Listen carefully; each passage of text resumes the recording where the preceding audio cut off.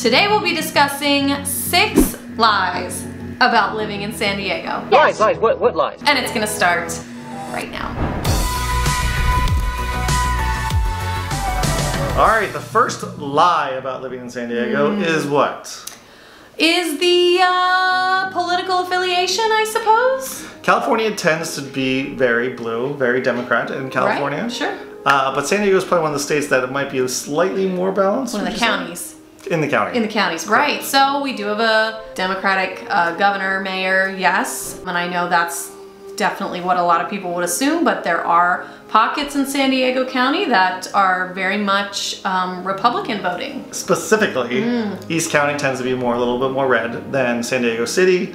Parts of North County even are. Sure. might be a little bit more red, like like uh, Rancho Santa Fe, for Rancho example. Santa Fe tends to, yeah, be more Republican versus Democrat. I'm not mixing in independence or anything like that, Yes. but just so sort of a common misconception, I guess, that it's all just blue up and down the state. Yes. In the 2020 election, uh, 60% of San Diego voted uh, Democrat and 37% voted Republican. So Yes. just keep that in mind. We have all walks of life here in San Diego. That's right. All affiliations. yes. All affiliations. Okay, number two lie uh, about living in San Diego Mm. is we have perfect weather here in San Diego. It's a lie. When people think of San Diego, they always think Sunny. It's sort of a lie. Yeah, it's close to It's an, perfect. it's an embellishment, I feel Yeah. like slightly more than a lie, but we do have great weather most of the year, but there are a few months out of the year the weather is not perfect here. and in it may surprise you, right? We came from Arizona to have a nice sunny beach day and it's all cloudy and cold. It's when people want to come visit. It's when people get out of school. It's Mm-hmm. June, it's May, and those are not our best months here. No, we get a little, we get that marine layer here come uh, uh, May and June, Mm-hmm. and it kind of hangs around for most of the day. It does break up a lot of times by the end of the day, but sometimes it's not till two or three in the afternoon. Right. Which one most of your day is already gone. May, the temperature average is only about 69 degrees, which the rest of the United States or parts of the United States are enjoying beautiful spring weather, 70, 75, and here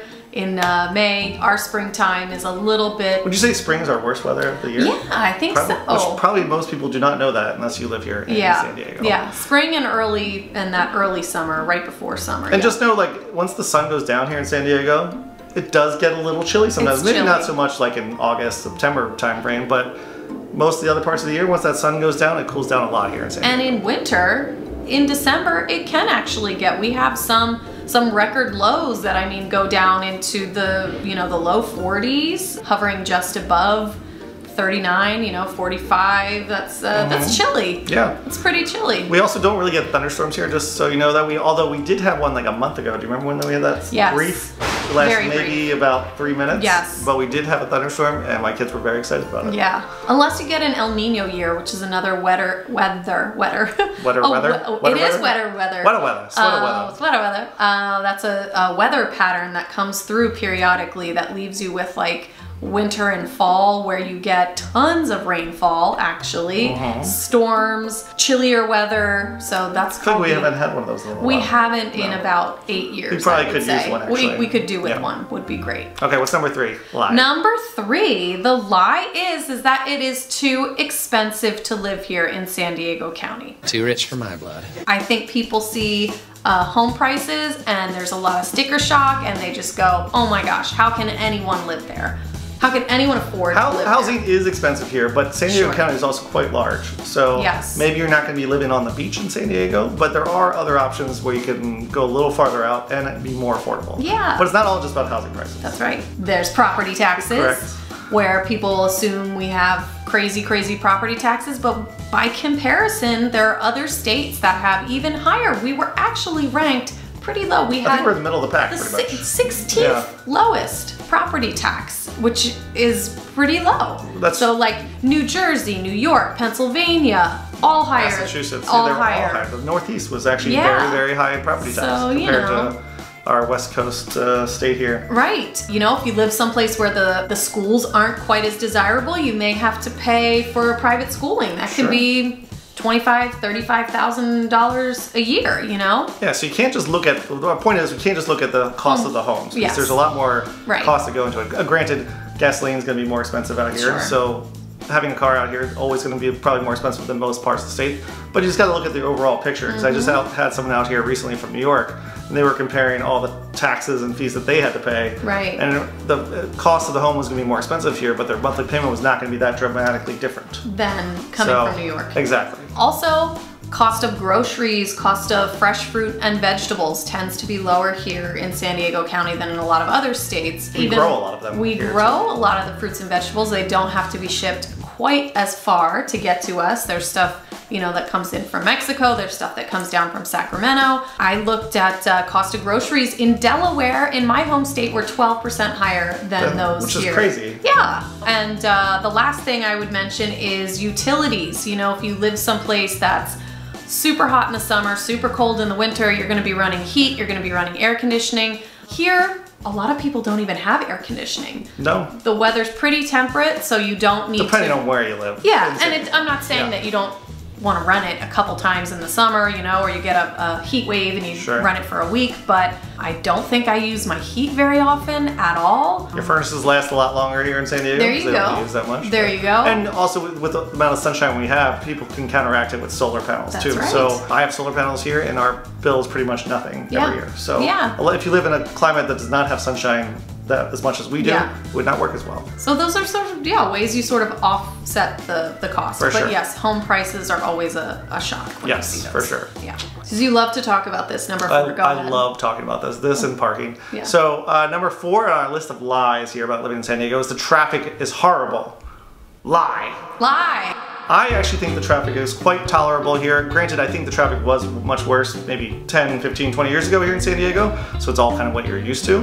But I've lived in Philadelphia, I've lived in uh, Los Angeles. They're actually much higher on the list of worst traffic ranked. in the are United rankings. States. Yeah. So there are much worse places that with due to traffic here than San Diego. I think we were kind of middle of the pack on this one too, as far as Yeah, traffic wise. I think so. They did some sort of analysis where they they did the per capita time spent in traffic congestion, and that's how they ranked Mm-hmm. Correct. these cities. So don't get us confused with Los Angeles. We're not Yeah. Los Angeles. No, I we're better. We're better. Traffic wise, we're better. and it's very predictable. So it's like it's mostly rush hour, like Right. eight to nine, and then like four to, to five thirty. Yeah, The traffic's 6:30 maybe, yes, yeah. it's, yeah, six minutes stretch a little bit. So it also depends on where you live and where you're going. So Mm-hmm. if you're going downtown on Friday afternoon, you're probably gonna hit some traffic. Yep. Or on the weekends, coming all But the LA still not traffic come down. Yeah. You know, it's predictable. Yeah. Or when the San Diego Fair is here, thanks Fair. Right. Oh, Then we oh, get a little traffic there too. So, Fair. but long story short, the traffic is not that bad in San Yeah. Diego. So that is a lie.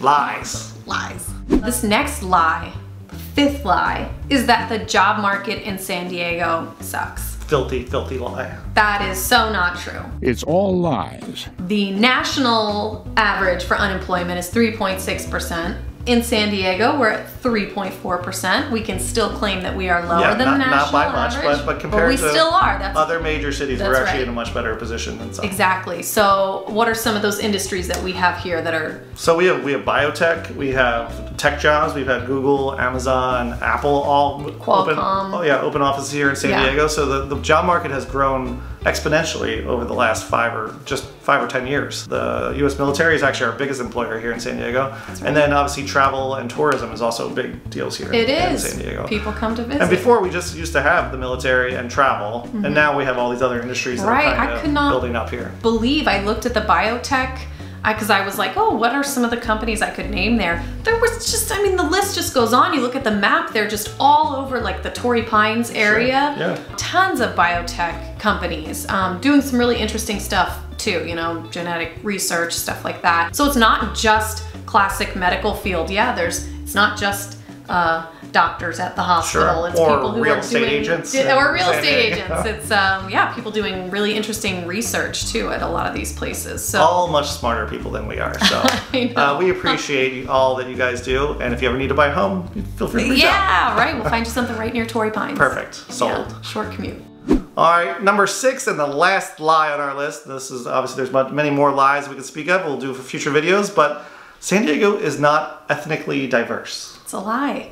Bogus. Bogus. Totally bogus. What in the hell's diversity? I think a lot of people's imagery of someone that lives in San Diego is a white dude with blonde hair and no shirt and just By surfing the, the waves. Spicoli. A bunch of Little point break or something like that. Yeah, which, right. Don't get me wrong, there's plenty of those here mm-hmm. too. But I think compared to like even like Los Angeles, I'm not sure I'd say it's more ethnically diverse than LA is, but there's all walks of life here in San Sure. Diego. So so many different cultures represented, which I think is so wonderful.